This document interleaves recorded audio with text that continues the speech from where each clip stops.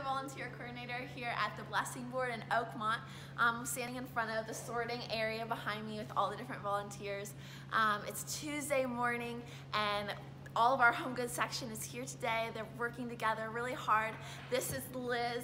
Liz, hi girl. Um, what is it like volunteering here on a Tuesday morning in the home goods section?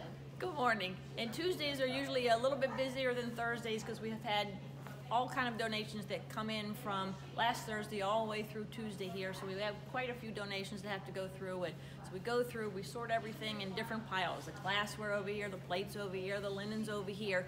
And then things get put away and linens get then sub-sorted underneath there to be towels and, and sheet sets and things like that. Those all go in the homeroom. Um, and then the kitchen, we make dish packs with all the donations that have come in. So pretty much, you know, we take everything that we got, put it on a shelf somewhere, and it goes out. February and March we're really low on um, volunteers. It's just a time where we need some extra help here in the home goods section. So if you would be willing to volunteer, we would love to get you trained and set up here. Um, my name is Lauren again, and we would love for you to contact me. You can go to the website, um, email me, you can find me there underneath the staff. Thank you so much, and we really appreciate it.